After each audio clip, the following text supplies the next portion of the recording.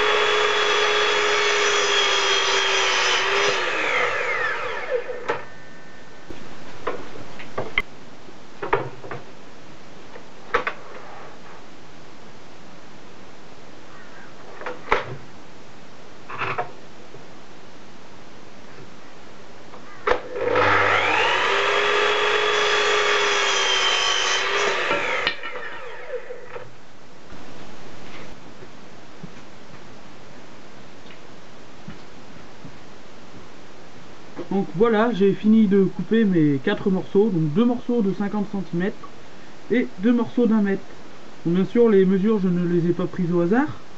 les bouts de bois de 50 cm sont taillés à cette taille-là, justement parce que mon grillage fait 50 cm de largeur. Donc euh, faites attention à ne pas tailler trop grand si votre grillage est, est petit. Donc faites attention à vos mesures. Voilà, donc euh, on passe maintenant à la réalisation du cadre.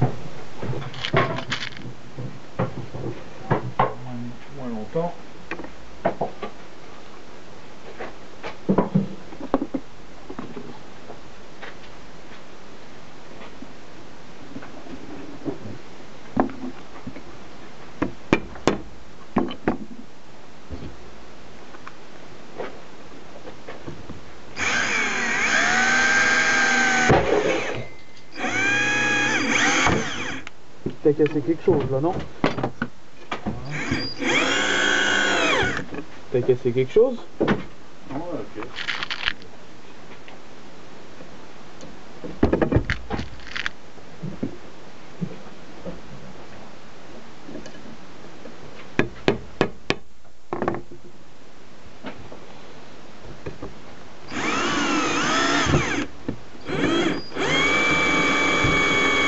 Voilà, donc l'étape numéro 1 est, est finie. Donc le cadre est prêt. Donc 50 euh, cm sur 1 mètre. Vous voyez, mode de fixation, donc des petites équerres. Donc 4 euh, vis. Donc vous faites ça aux quatre coins. Bien sûr, vous mettez les morceaux de 50 cm à l'extérieur et les morceaux d'un mètre à l'intérieur. Voilà. étape numéro 3. Rajouter une barre au milieu.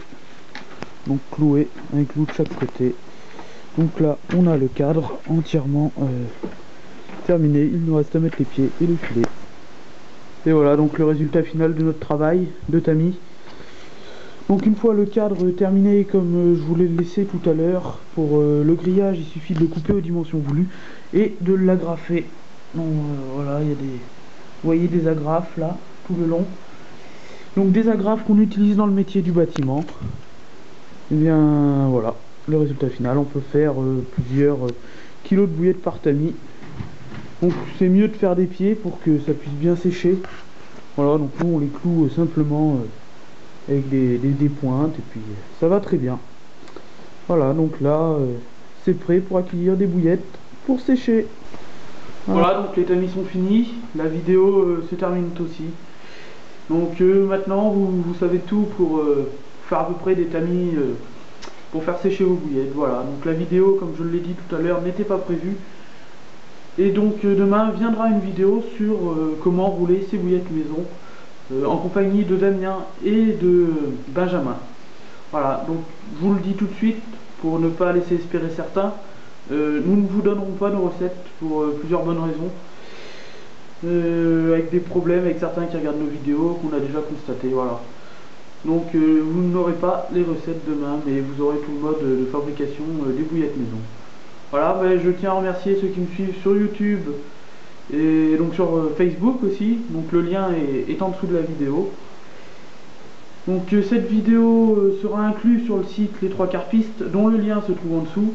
Vous trouverez également sur ce site des tutoriels sur comment fabriquer des écureuils ou comment fabriquer des tables de visite par Damien.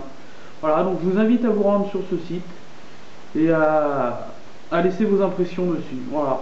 Bon allez, bonne soirée à tous.